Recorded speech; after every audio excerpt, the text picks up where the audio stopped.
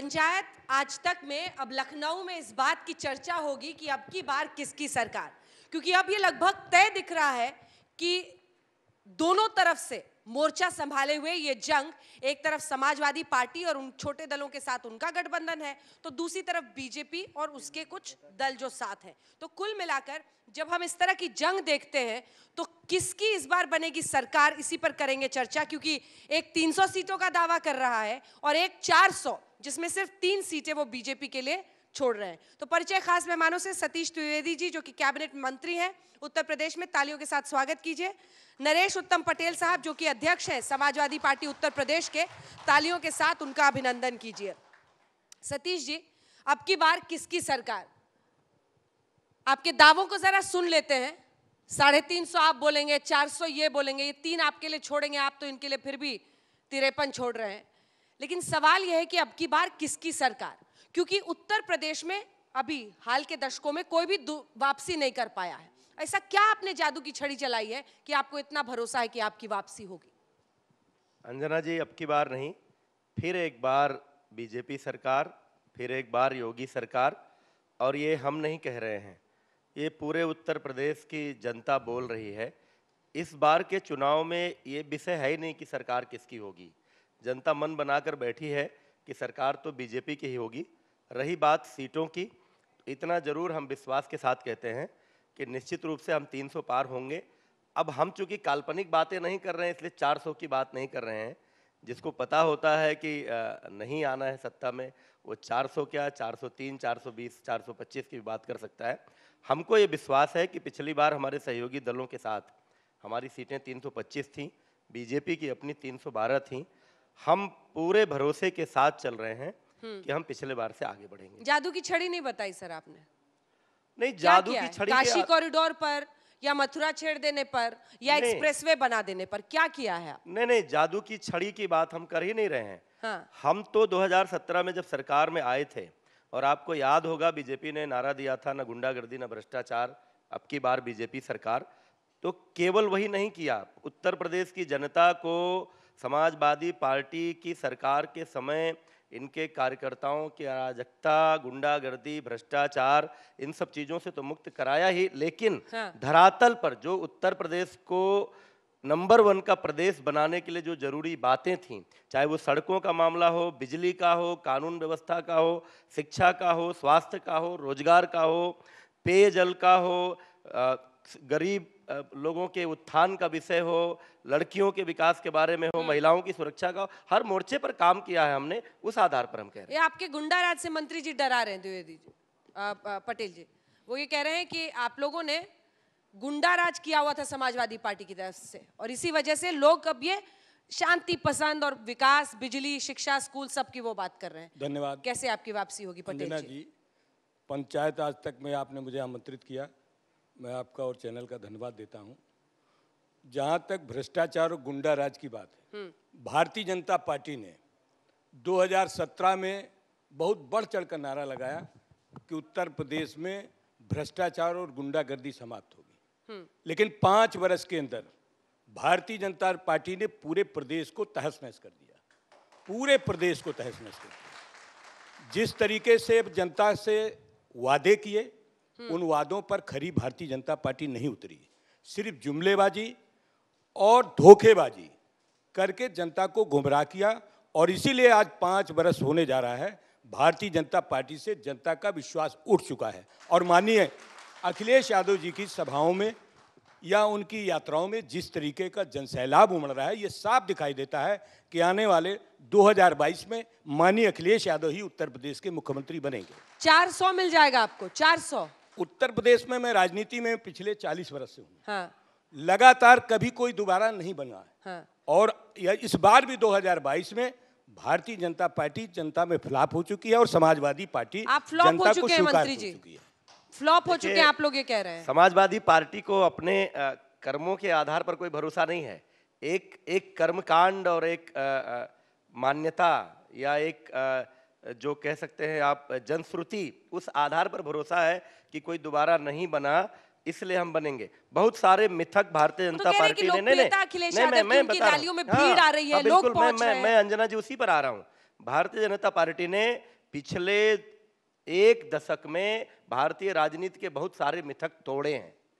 जब 2014 में भारतीय जनता पार्टी केंद्र में सरकार आई तो जिस तरह से केंद्र की सरकार ने काम किया, जो काम पिछले 70 सालों में हो जाने चाहिए थे 70 साल बाद गरीब को आवास उपलब्ध कराना, हर गरीब महिला को शौचालय उपलब्ध कराना, हर गरीब महिला को निशुल्क गैस कनेक्शन उपलब्ध कराना, हर आदमी का बैंक में खाता हो ये चर्चा आज़ादी के 70 साल बाद नहीं होने चाहिए। और वो सब जो काम किया, उसके कारण 2017 में ये सोचकर कि भाजपा की सरकार यूपी में आएगी तो उत्तर प्रदेश का भी विकास होगा। और जब यूपी में सरकार आई और मोदी योगी की ये डबल इंजन की सरकार जब चली तो जिस तरह से उत्तर प्रदेश में काम हुआ है, वो सारे मिथक टूटेंगे।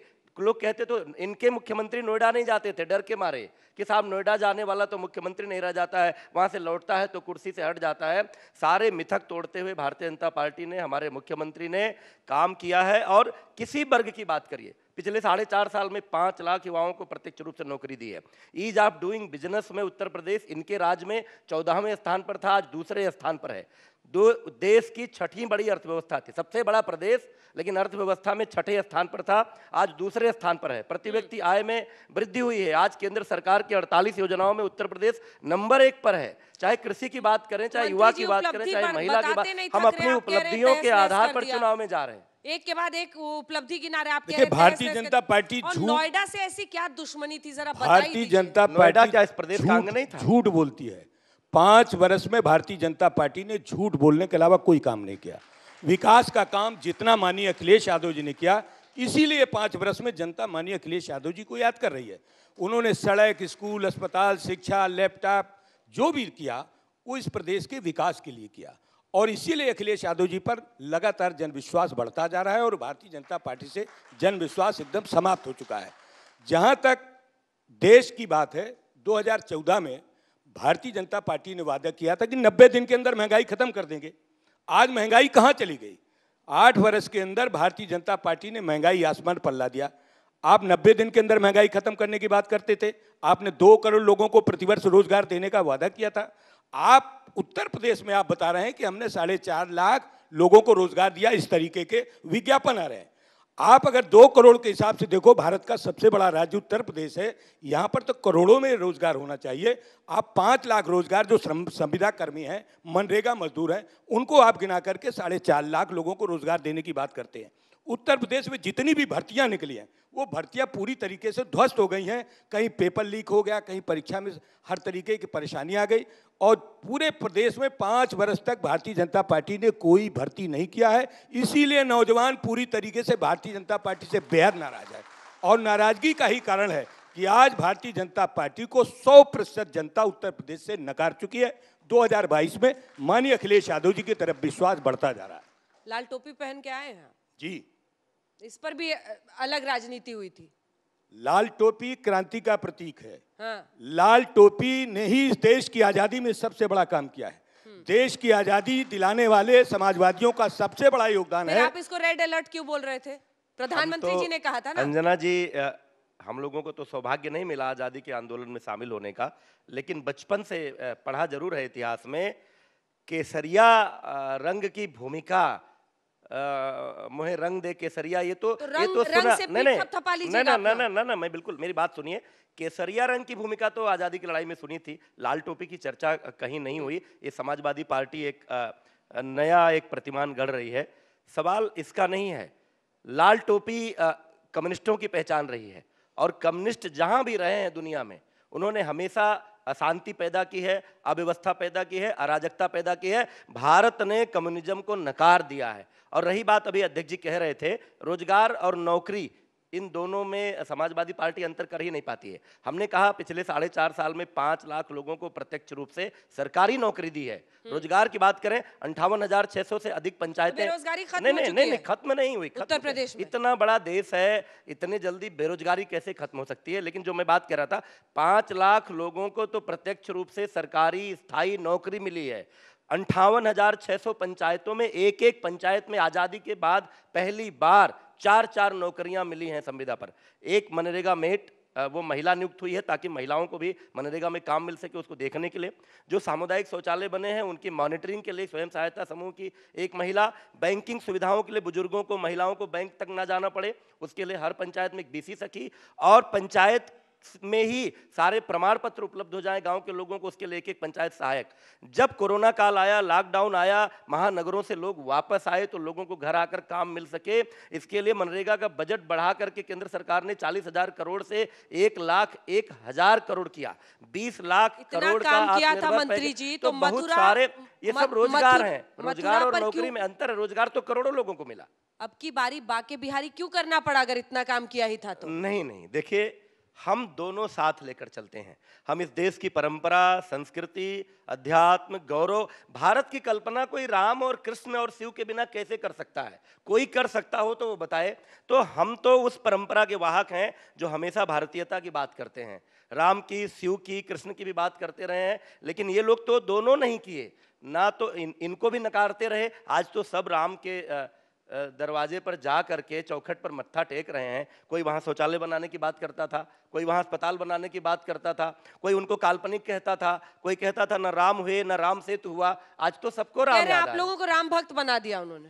देखिए उत्तर प्रदेश कृषि प्रधान प्रदेश है। इस प्रदेश में कृषि सबसे बड़ा हमारा मुख्य व्यवसाय है। और उत्तर प्रदेश में किसानों की बदहाली भारतीय जनता पार्टी ने बहुत बढ़ा दी भारतीय जनता पार्टी के ज़माने में हमारे प्रदेश के किसान बहुत बर्बाद हुए हैं। उनकी आमदनी बढ़ाने की बात की थी भारतीय जनता पार्टी ने कि हम किसानों की आय दुगना कर देंगे, उनको लाभकारी मूल्य देंगे, उनको लागत से जोड़ा देंगे, स्वामीनाथन आयोग की रिपोर्ट लागू करेंगे। लेकिन भारत सरकार को सात बरस के ऊपर हो गया, उत्तर प्रदेश में पाँच साल से भारतीय जनता पार्टी की सरकार चल रही किसानों की आमदनी घटी, महँगाई बढ़ी और किसान की आमदनी घटती जा रही है। लगातार इस प्रदेश में किसान, जो हमारा मुख्य आधार है उसकी माली हालत खराब होती जा रही है उनसे झूठ बोला सिर्फ़ जुमलेबाजी के आज इसीलिए पूरे देश में एक सेकंड एक सेकंड। किसान अगर उनसे नाराज़ भी थे तो किसानों ने अपना आंदोलन करके उनकी नाक में दम किया ना? आप लोगों ने थोड़ी हम लोगों ने भी- ले रहे हैं। हम- और ये कैसे कहा जा सकता है कि वो आपकी तरफ़ आ जाएँगे? अंजना जी समाजवादी- अंजना जी समाजवादी- आरएलडी का आना का मतलब ये थोड़ी है कि किसान सारे अंजना जी समाजवादी पार्टी किसानों की पार्टी है मजदूरों की पार्टी है गरीबों की पार्टी है।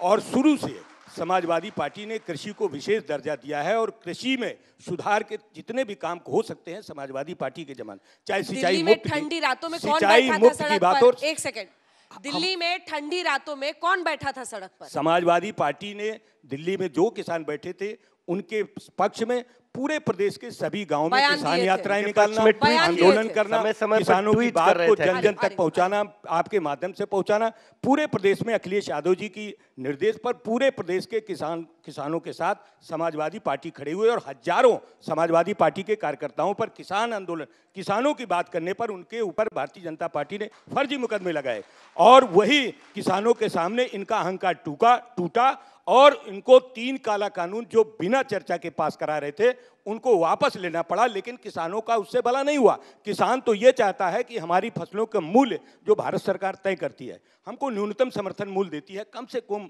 हमको समर्थन मूल्य तय करती है, लागत नहीं जोड़ती, बिना लागत के न्यूनतम समर्थन मूल्य जो घोषित किया जाता है, वो भी नहीं मिलता है। हम एमएसपी की गारंटी चाहते हैं, हमारे नेता अखिलेश यादव जी ने पार्लियामेंट से लेकर मीडिया के माध्यम से जनता के बीच में ये बात कहा कि कम से कम किसानों के एमएसपी की गारंटी मिले, सारे किसानों का माल, सारे किसानों की उपज एमएसपी की गारंटी के उसकी कानून बनना चाहिए और एमएसपी की गारंटी देना चाहिए तभी इस प्रदेश के किसानों का कुछ भला हो सकता है। लेकिन भारतीय जनता पार्टी उन बातों से मुकर गई। पास? इसके लिए क्या काट है आपके पास मंत्री जी? और क्या तीनों कृषि कानूनों की वापसी से एक सेकंड मामला सुलझ जाएगा? क्योंकि अजय मिश्रा टेनी के इस्तीफे पर भी कई जगहों पर किसान संगठन अड़े हुए हैं।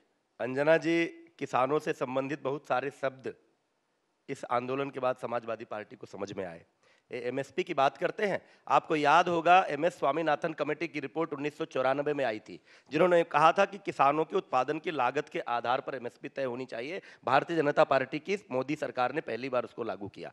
इसी सरकार ने पहली बार लागू किया कि जब एमएसपी तय होगा तो जो कृषि उत्पादन की लागत है उसके आधार पर तय होगा। और केवल धान और गेहूँ की एमएसपी इस देश में तय हुआ करती थी, दलहन, तिलहन पर भी एमएसपी लागू करने का काम भारतीय जनता पार्टी की मोदी सरकार ने तय किया। और एक बात, जो किसानों का आंदोलन था, समाजवादी पार्टी का तो बिल्कुल नहीं था। बहुत रहा तो समय समय पर आदरणीय अखिलेश जी या अध्यक्ष जी ने ट्वीट कर दिया होगा।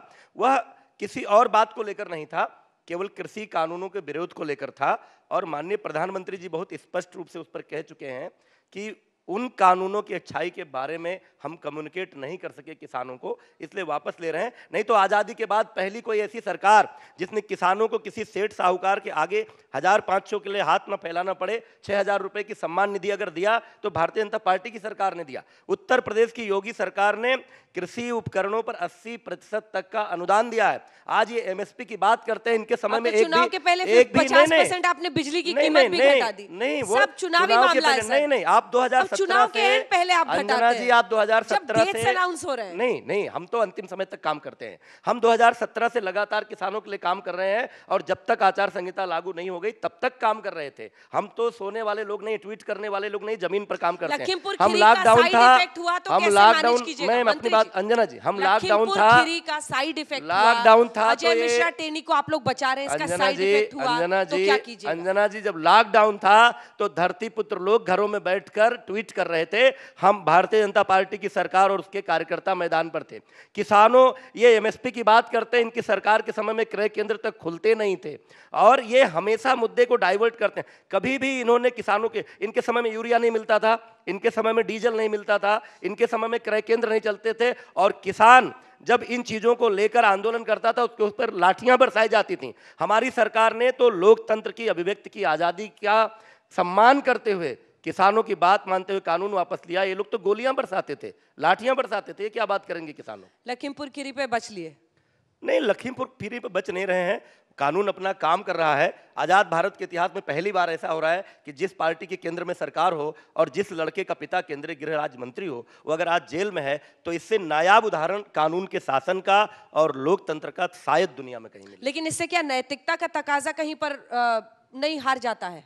नहीं क्यों हार जाता है? जब तक कोई हमारे देश में कहा गया है कि चाहे नहीं नहीं टेनी साहब को कोई जब- दूसरा थोड़ी कह सवाल सुनिए को टेनी साहब को कोई दूसरा थोड़ी कहता था सर? खुद ही प्रेस कॉन्फ्रेंस करके कहते थे ना कि अगर मेरा बेटा दोषी पाया गया तो मैं इस्तीफा दे दूँगा। वो- ये किसी और ने थोड़ी बुलवाया था उनसे। वो उनका अपना व्यक्तिगत बयान है उस पर मैं टिप्पणी नहीं करना चाहता व्यक्तिगत लेकिन लेकिन हाँ और क्या उन्हीं का बयान है ना?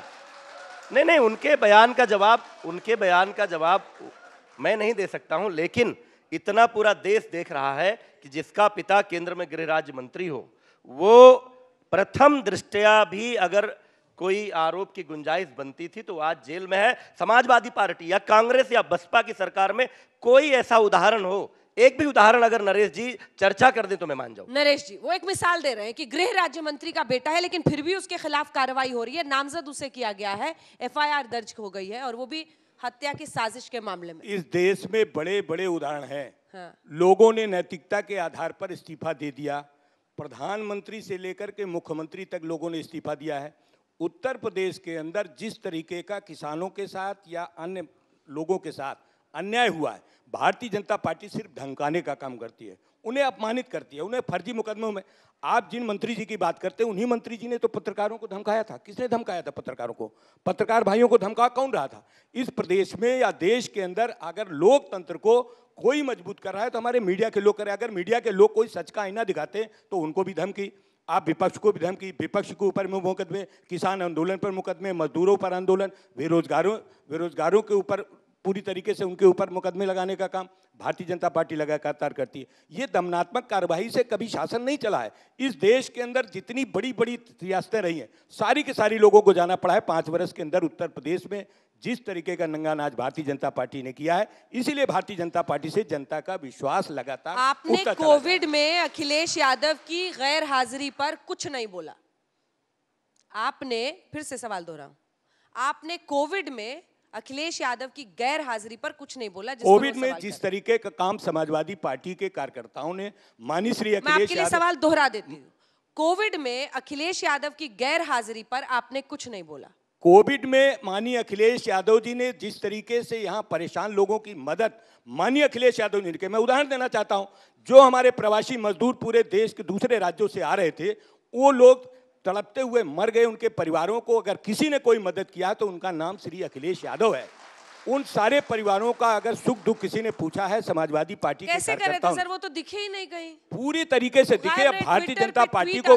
भारतीय जनता पार्टी को बहुत चीज़ें नहीं दिख रही। यही कारण है कि अखिलेश यादव हम लोगों को भी नहीं दिखा। अखिले- नहीं, आप- ट्वीट पे ही दिखते थे। आप बताइए ना सर। पूरी तरीके से अखिलेश बता दीजिए। पूरी तरीके से कोई जगह बता दीजिए पूरी तरीके से अखिलेश यादव जी ने हाँ। जितने भी कोविड में पीड़ित लोग थे अपने कार्यकर्ताओं के माध्यम से पार्टी के नेताओं के माध्यम से अपने कोष से भी पार्टी के कोष से भी अखिलेश यादव जी ने उन लोगों की मदद की और अखिलेश यादव जी ने बहुत बहादुरी के साथ कोविड के समय जिस तरीके का मुकाबला किया इसीलिए अखिलेश यादव जी की तरफ़ लोगों का विश्वास है और अखिलेश यादव जी की तरफ़ लोगों की आशा भरी निगाह से देख भी रहे हैं। अब की बार किसकी सरकार में? अब जरा एक सेकंड सर इसका जवाब आप दे दीजिएगा। लेकिन अब जरा मैं कानून व्यवस्था पर बात करना चाहती हूँ। ये जो गोली मार देंगे और जो अपराध है उसको टॉलरेट नहीं किया जाएगा और ये जो एक हार्ड स्टांस है, क्या योगी आदित्यनाथ ये मानते हैं कि इसी के ज़रिए वो सबको दबा कर कंट्रोल में रख रहे हैं?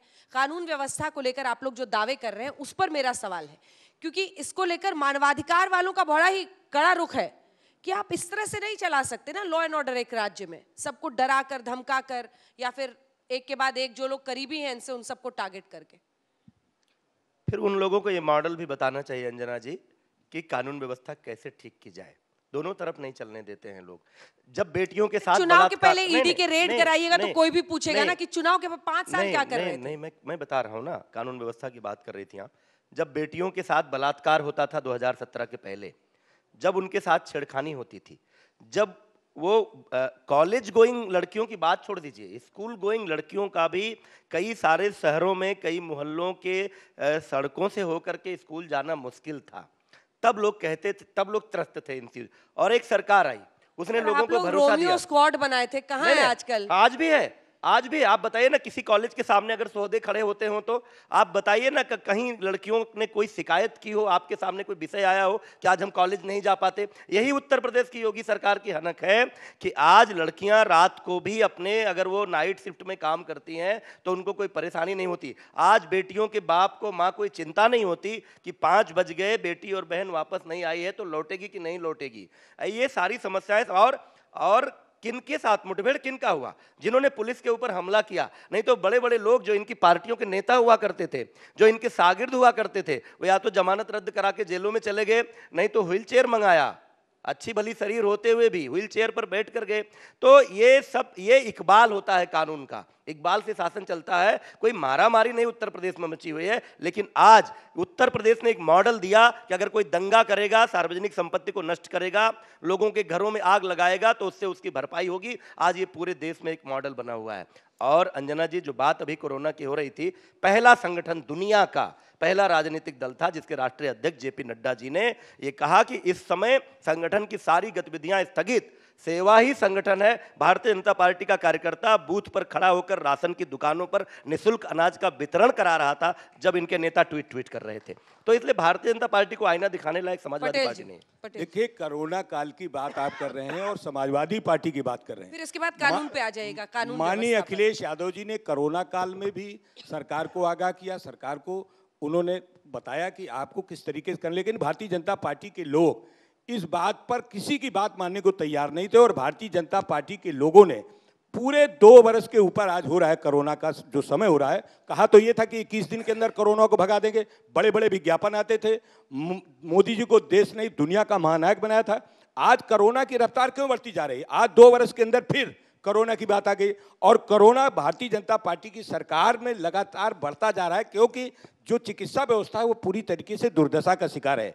कहीं ना ऑक्सीजन है न दवा है न इलाज है न अस्पतालों पर कोई अच्छी व्यवस्था है जिसकी वजह से कोरोना में लोग मौत के मुँह में जा रहे हैं। जहाँ तक कानून व्यवस्था की बात है अभी मैं आपको एक एग्ज़ाम्पल देना चाहता हूँ। पिछले दिनों धर्म और जाति के आधार पर आप कानून व्यवस्था चलाना चाहते हैं और आप इस तरीके काम करते हैं। अभी एक एक वीडियो आया था जो फ़र्क साफ़ है। फ़र्क साहब का आपने देखा कि कौन से लोग हैं इस प्रदेश के अंदर माफिया? और माफियाओं की सूची को समाजवादी पार्टी ने कहा कि जिला वाइज माफियाओं की सूची जारी करे सरकार। लेकिन सरकार तो बात नहीं करें। क्योंकि फिर हम आपसे पूछेंगे कि जो लड़कियों के लिए शादी की उम्र तय की गई इक्कीस साल तो उन्होंने कहा कि ये गलत है। नहीं हमारे उसके लिए वो कैसे कैसे तर्क दे हमा- रहे थे? हमारे नेता दे हमारे नेता माननीय अखिलेश भैंस खोजने के लिए पुलिस हमारे जाती नेता आपको अखिलेश यादव जी अंजना ने जी जो 21 भैंस खोजने के लिए पुलिस लगाई जाती उस थी। पर सहमति जताई और पुलिस आज़म खान का भैंस अखिलेश यादव जी ने उस पर सहमति जताई जो सहमति क्या कह रहे हैं? सहमति। माननीय अखिलेश यादव जी ने जो 21 वर्ष की उम्र की बात थी हाँ। उसको बहुत तो स्पष्ट रूप से कहा माननीय अखिलेश यादव जी ने इस बात को कह पार्टी के नेता का ही पार्टी का तो विचार तो होता सांसद है कि नहीं है हमारे सांसद उन सांसदों से भी हम लोग कह देते हैं कि पार्टी? हम लोग सांसदों से भी कि उनका व्यक्तिगत विचार हो सकता है लेकिन पार्टी अभी अखिलेश यादव जी समाजवादी पार्टी बात कह रहा था और तो उन्होंने इस बात सांसदों ने भी ये बात कही है कि हमारा व्यक्तिगत विचार था लेकिन समाजवादी पार्टी का जो दृष्टिकोण है वो आप 21 साल समझ की नहीं रहे। मैं जो सवाल पहुँच रही हूँ वहाँ पे पहुंचिए आप। मैं आपसे बोल रही हूँ कि आप बर्क साहब जैसे सांसदों को भी खुली छूट दे देते हैं। नहीं, तो कहते हैं सुनिए सुनिए सर क्या क्या आपने कहा जी, हमारे यहाँ खुली छूट है। सुनिए तो। आप सुनिए पूरा सवाल, सुनिए, समझिए कि मैं कहाँ पहुँच रही हूँ। या आप शफीकुर रहमान साहब जैसे लोग भी हैं जो कहते हैं, इक्कीस साल कर दिए तो लड़की आउट ऑफ़ कंट्रोल रहेगी, जल्दी शादी होनी चाहिए बच्चा पैदा करने की मशीन। दूसरी तरफ़ आप जिस छवि से आपका मुकाबला है उसमें वो कह रहे हैं कि हम लड़कियों के साथ हैं, महिलाओं के साथ हैं, प्रधानमंत्री भी लाल किले से भाषण देते हैं। फिर आपको हाथरस पर भी उनको घेरना है। फिर आप पिछले चुनाव की तरह गायत्री प्रजापति जैसे लोगों के साथ भी फिर जब लॉ एंड ऑर्डर की बात आती है तो ये हमेशा याद दिलाया जाता है कि जब आप लोगों का राज था, जिप्सी पे बड़े बड़े समाजवादी पार्टी के झंडे के साथ इधर से उधर दाएँ दाएँ गाड़ियाँ जा रही हैं, किसी की कोई सुनने वाला नहीं है। मतलब एक एक गुंडागर्दी जो आपकी पार्टी के झंडे तले होता था उससे लोगों को डराया जाता देखिए, अपराधों- इससे कैसे मुकाबला करेंगे? क्या स्ट्रैटेजी है? देखिए हमारे नेता माननीय अखिलेश यादव जी की सरकार थी और उस सरकार में कानून का राज था। लेकिन भारतीय जनता पार्टी ने सिर्फ़ गुमराह करके इस प्रदेश में जुमलेबाजी करके गुमराह करके सरकार तो बना ली लेकिन पाँच वर्ष के अंदर उत्तर प्रदेश में अपराधों का ग्राफ बढ़ा है। मैं नहीं कहता ये आंकड़े कहते हैं कि उत्तर प्रदेश में हत्या डकैती लूट बच्चियों के साथ दुष्कर्म की घटनाएँ महिलाओं के साथ छेड़छाड़ की घटनाएँ बढ़ी है इस प्रदेश के अंदर। इसीलिए जनविश्वास लगातार बीजेपी से घट गया है और हटा हुआ है पूरी तरीके से। जनविश्वास आपसे घटा हुआ है। अब अंतिम प्रश्न की तरफ़ हम बढ़ रहे हैं। जनविश्वास जन विश्वास- हुआ है तो कैसे आप लोग अब जन बार फिर विश्वास से शब्द जन विश्वास शब्द जन विश्वास शब्द परेशान कर रहा है अध्यक्ष जी को अभी, क्योंकि अभी अभी जो भारतीय जनता पार्टी की जन विश्वास यात्रा उत्तर प्रदेश में हुई है और उसमें जिस तरह से जनता का अपार समर्थन मिला है, उससे ये लोग घबराए हैं। इनकी जब सरकार थी, आप वर्ग की बात क्यों कर रही हैं? आदरणीय मुलायम सिंह जी, यादव जी कहा करते थे? लड़कों से कभी कभी गलती हो जाती है। तो बर्ग साहब ने तो वही सुना है तो बोलेंगे ही। इनके समय में पुलिस वालों की हत्या होती थी। आज तो अपराधी सामान्य व्यक्ति की हत्या करने से डरता है, अंजना जी। और उत्तर प्रदेश को चार जिलों में बिजली आती थी, इटावा, कन्नौज फरुखाबाद और आज़म खां जी का रामपुर। चार जिलों में बिजली आती थी। शेष हम लोगों के जिलों में चार घंटे बिजली आती थी। रात को बारह बजे और सुबह उठने से पहले चार बजे चली जाती थी। आज उत्तर प्रदेश के पचहत्तर जिलों में बिजली आती है और अट्ठारह घंटे ग्रामीण क्षेत्र से लेकर जिला मुख्यालय पर चौबीस घंटे तक बिजली आती है। आज किसी को अपराधियों का खौफ उत्तर प्रदेश में किसी के मन में नहीं। चार लाख सड़सठ हज़ार करोड़ का यूपी इन्वेस्टर्स मीट जब 2018 में योगी सरकार ने किया था तो तंज कसा था अखिलेश जी ने। कह रहे, हमने भी किया था, लेकिन कोई यूपी में आता नहीं है। इसलिए नहीं आता था नेताजी उस समय यूपी में, क्योंकि यूपी में हफ़्ता वसूली होती थी। उनमें से तीन लाख करोड़ से अधिक का इन्वेस्टमेंट यूपी में हो चुका है। आज उत्तर प्रदेश औद्योगिक क्षेत्र में आगे बढ़ रहा है। शिक्षा के क्षेत्र में 2017 में जब आंकड़े आए थे, इनकी सरकार की उपलब्धियों के आधार पर तो यूपी पाँचवें पायदान पर खड़ा था। आज उत्तर प्रदेश देश के जो दस राज्य पहले पायदान पर खड़े हैं, उसमें एक उत्तर प्रदेश भी है। तो हर क्षेत्र में आप रिपोर्ट देखते चले जाइए, नीति आयोग की या किसी आयोग की, हर क्षेत्र में आज उत्तर प्रदेश आगे बढ़ रहा है। आज उत्तर प्रदेश देश के लिए रोल मॉडल बन रहा है। और हम यूपी के विकास के आधार पर, अपनी उपलब्धियों के आधार पर, अपने काम के आधार पर, अपने केंद्र सरकार के काम के आधार पर, प्रदेश सरकार के काम के आधार पर और उत्तर प्रदेश के गौरव, इस देश के स्वाभिमान, उसमें काशी भी है, उसमें अयोध्या भी है, उसमें वृंदावन भी है, उसमें नैमिसारण भी है, इन सब के साथ जनता के बीच जाएँगे और जनता को लगेगा कि भाजपा ने विकास भी किया है, सम्मान भी बढ़ाया है और बहु बेटियों की इज़्ज़त भी की है गरीबों का जीवन स्तर भी ऊपर उठाया है इन सब चीज़ों को लेकर पटेल जी एक दूसरी चीज़ जो ये लोग बार बार सामने रखते हैं वो है मोदी योगी और डबल इंजन। उससे कैसे भिड़ेंगे देखिए उत्तर प्रदेश के अंदर अभी मंत्री जी ने कहा कि हम चार राज्य जिलों में बिजली देते थे। हमारे नेता और तत्कालीन मुख्यमंत्री अखिलेश यादव जी ने जितने पावर प्लांट लगाए उन पावर प्लांटों के अलावा भारतीय जनता पार्टी ने एक भी बिजली का उत्पादन का कारखाना लगाया हो तो बताएँ। सिर्फ़ झूठ बोलना और जनता को एक एक कौन सा लगाया? नरोरा लगाया कि रिहंद लगाया? एक भी विद्युत का कारखाना विद्युत को उत्पादन का एक यूनिट भी भारतीय जनता पार्टी ने अगर बनाया अंजना जी। तो एक भी कारखाना अंजना बनाया तो जी। मैं बात करना छोड़ दो। अंजना जी। झूठ बोलना अंजना जी, अंजना जी, और अभी माननीय अखिलेश यादव जी ने तीन सौ अंजना जी, बिजली फ्री अंजना किया। जी, सपा की तीन समझदारी- यूनिट बिजली फ्री किया। जब माननीय अखिलेश यादव जी ने किसानों को मुफ़्त बिजली देने की बात की तीन सौ यूनिट बिजली मुफ़्त करने की बात की। आज ना, अभी जनता पार्टी को याद तो आया? आप थे तो क्यों नहीं दिए? कोई काम नहीं आया भारतीय जनता पार्टी को। आज उनको याद आया कि हम किसानों को हम भी मुफ़्त बिजली देंगे उनका बिजली का बिल आधा करेंगे।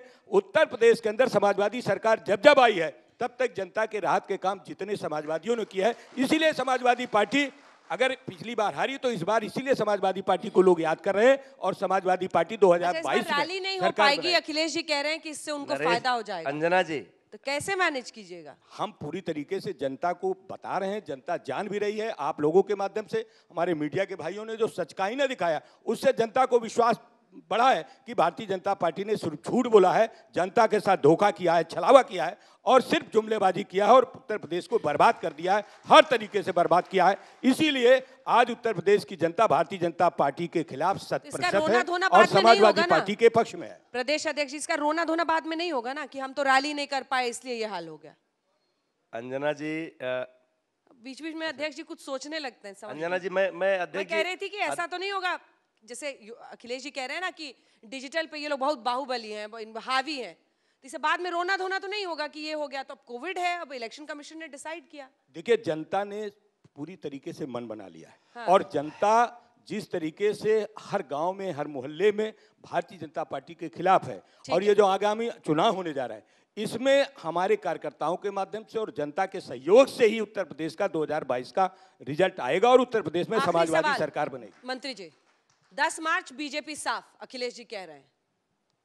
अखिलेश जी तो मैदान छोड़ चुके हैं अंजना जी। कहाँ तो, छोड़ दिए? अ, देखिए भारतीय जनता पार्टी तो हमेशा मैं बता रहा हूँ ना।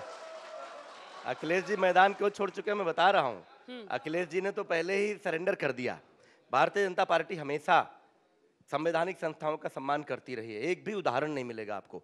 चाहे न्यायालय हो चाहे चुनाव आयोग हो निर्वाचन आयोग ने जिस समय घोषणा की कि जो परिस्थितियाँ हैं अभी मुझे हँसी आ रही थी जब अध्यक्ष जी कह रहे थे कि भाजपा के राज्य में कोरोना बढ़ रहा है। पूरी दुनिया इस बात को मान रही है कि पूरी दुनिया जिस तरह से कोरोना से त्रस्त रही है, सबसे प्रभावी नियंत्रण। अगर कहीं हुआ है तो भारत में हुआ है, और भारत में भी सबसे ज़्यादा प्रभावी नियंत्रण कहीं हुआ तो उत्तर प्रदेश में हुआ है। तो अगर लोगों को बचाने के लिए उसका स्प्रेड ना हो, उसके अगले फ़ेज़ का निर्वाचन आयोग ने अगर कहा कि डिजिटल प्लेटफॉर्म का इस्तेमाल करेंगे तो जो लोग कहते थे, बाबा को तो लैपटॉप चलाने नहीं आता, बाबा तो नहीं डरे डिजिटल प्लेटफॉर्म से, बाबा ने तो उसका स्वागत किया। लेकिन जिनको बड़ा लैपटॉप चलाने आता था, वो लोग कह रहे हैं कि इसमें तो बीजेपी हमसे भारी है। तो जैसे जहाँ जहाँ हारते हैं, वहाँ ईवीएम को दोष देते हैं। इस बार की स्क्रिप्ट इन्होंने पहले लिख दी। इस बार जब हारेंगे और जब 10 मार्च को साफ़ होंगे तो कहेंगे कि वो डिजिटल प्लेटफॉर्म ने हमको अब। देखिए, मंत्री जी कह रहे हैं कि अखिलेश जी ने मैदान छोड़ दिया। मैं कह रहा हूँ, मैदान में सिर्फ़ अखिलेश यादव जी हैं और अखिलेश यादव जी की वजह से भारतीय जनता पार्टी के पूरे देश के नेता प्रधानमंत्री जैसे मुख्यमंत्री, जब मैं कह रहा था मैदान छोड़ दिया तो पूरे इन- देश के समर्थक तब भी ताली बजा रहे थे। सिर्फ़ तो अखिलेश जी पर बोल रहे हैं सिर्फ़ अखिलेश जी उनको सिर्फ़ अखिलेश जी दिखाई पड़ रहे हैं और मैदान में अखिलेश यादव जी ये हैं और जनता है और जनता अखिलेश यादव जी पर विश्वास कर रही है। 2022 में माननीय अखिलेश यादव अंजना जी अंजना जी सपा इतनी कंफ्यूज है कि विद्युत सब स्टेशन और पावर जनरेशन प्लांट में जैसे अंतर नहीं समझ पाती ऐसे लगता है जैसे रिहंद बाँध और नरोरा के सब प्रोजेक्ट इन्होंने ही बनाए थे। ऐसे देखिए जब मैंने कहा कि अखिलेश ने मैदान छोड़ दिया तो अध्यक्ष जी के साथ आए हुए सारे समर्थक ताली बजा रहे थे। तो ये समझ नहीं पा रहे क्या करना है। हम एकदम बिल्कुल मैदान में ये जा रहे हैं। जनता ताली बजा रही बिल्कुल जनता मैदान ताली बजा में रही पूरे देश में। चुनाव पूरे चुनाव प्रदेश की चुनाव मैदान में जा रहे हैं लेकिन ये समझ ही नहीं पा रहे हैं करेंगे क्या। तमाम परीक्षार्थियों का 10 मार्च को रिज़ल्ट आ जाएगा। यूपी की जनता ही आपका रिज़ल्ट तय करेगी। आप देखते रहिए आज तक। you